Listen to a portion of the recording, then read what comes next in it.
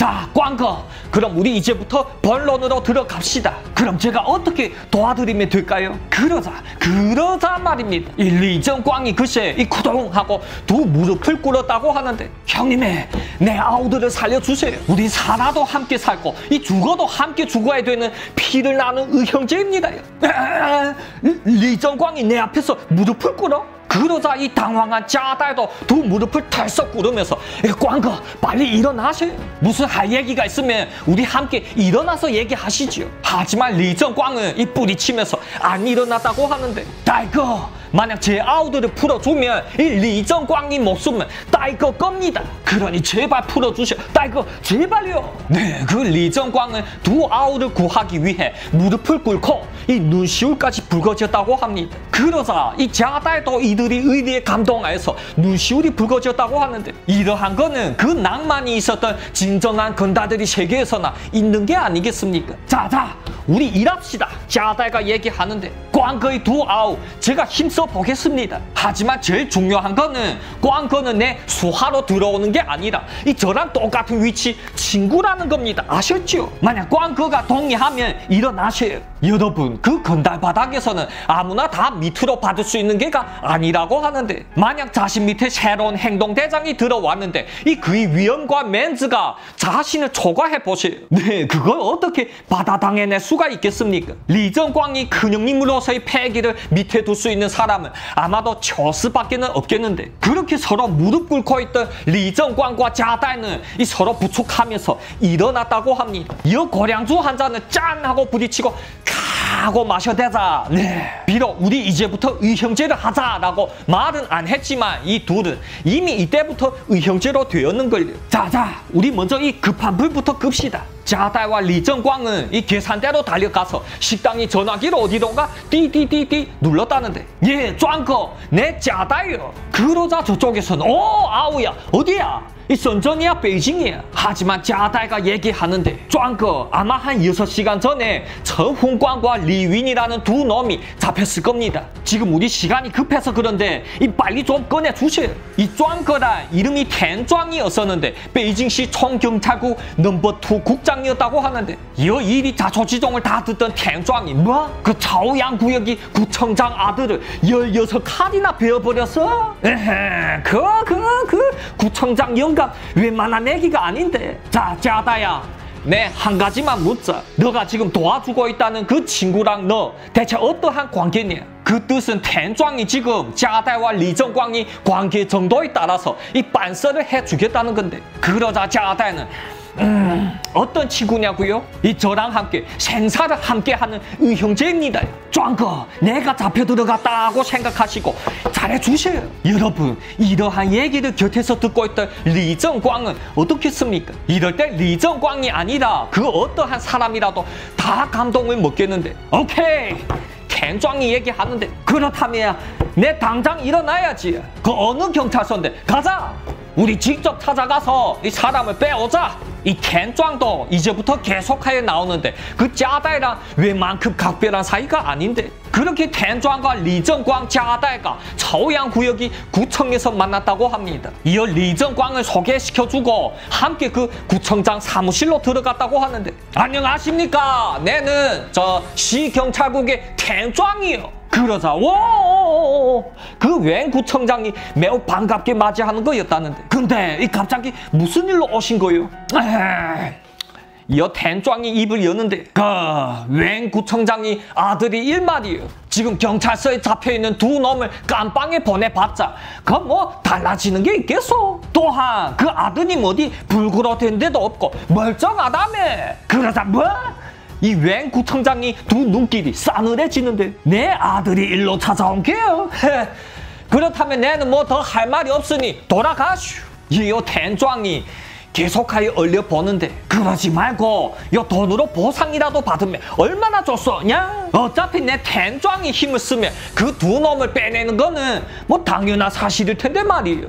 그러다 뭐, 뭐, 뭐시라고? 어이, 텐짱이 금방 뭐라고? 너가 힘을 쓰면 이 금방 뺄 수 있다고? 너가 아무리 시공항국의 부국장이라 하지만 여기 내 구역이다, 내 구역! 그러자, 텐장이 어이없어 하는데 어이 구청장 왜 좋게 좋게 얘기하니까 내 니랑 같은 또래 돼 보이니? 어떻게 뭐한 해보겠다는 게 뭐야? 여러분 그 전개나 깡패시계나 다 똑같은데 서로 맞지 않으면 이 다짜고짜 힘싸움에 들어간다고 합니다. 물론 깡패 놈들처럼 총칼을 들고 싸우는 거 아니고 누구의 정치적 힘이 더 센가를 겨누는 건데 이어 다이 텐장이 그 사무실의 책상을 탕 하고 내리까는데 여기 경찰 대대자 연아야 함 나서 봐라 네, 이 구청 사무실과 경찰서는 다 통해 있어서 사실 그 경찰 대대장은 이미 밖에서 다 엿듣고 있었다고 하는데 이 대대장이 부랴부랴 달려 들어오면서 yes!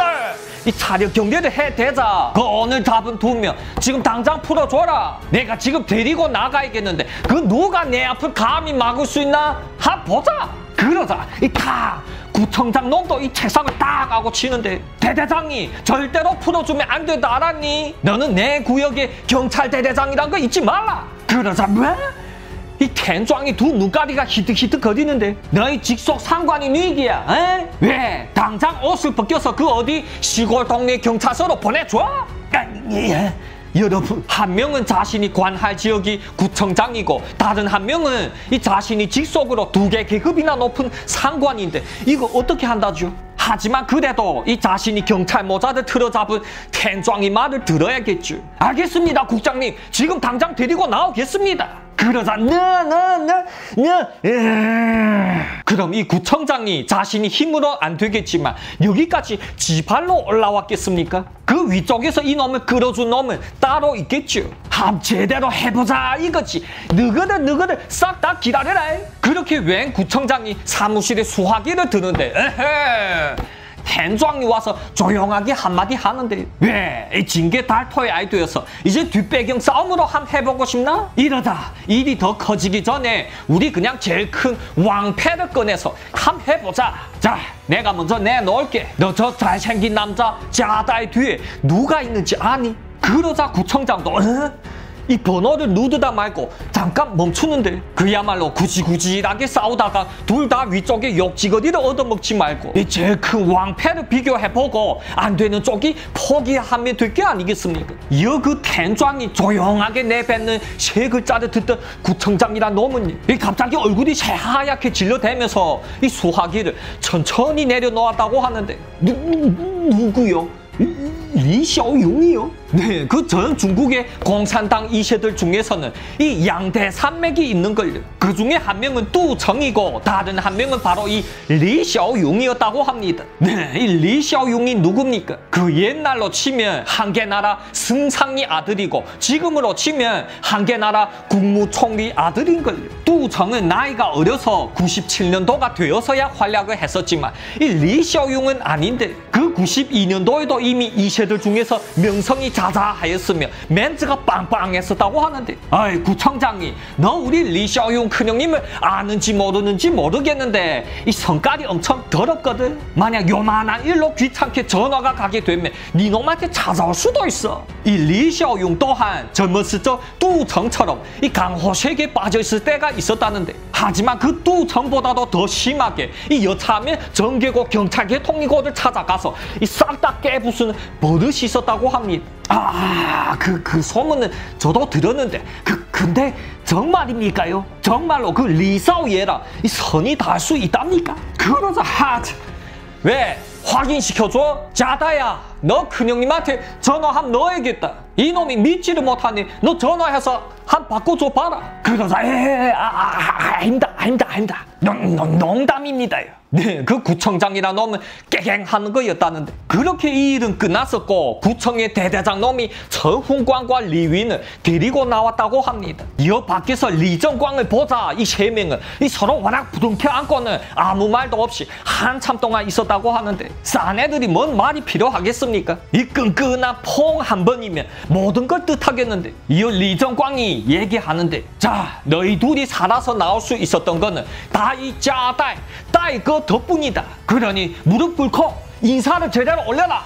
이어 구동 그 저훈광과 리윈이 무릎을 꿇자 허허이구 이 짜다에도 자기도 모르게 또 무릎을 꿇었다고 하는데 이제부터 우리들이 큰형님이니 이 인사 제대로 올려라 그러자 예 큰형님 그래서 아, 아, 아유 아유 광고 왜로 우리 이 같은 친구라고 했잖아. 친구 친구. 네 짜다는 항상 리정광을 친구라고 얘기를 하고 다녔지만 이 리정광은 저스 다음으로 이 짜다를 큰형님으로 모셨다고 합니다. 재밌게 시청하셨으면 댓글과 좋아요 쾅쾅 박아주시고요. 다음 회에 또再见。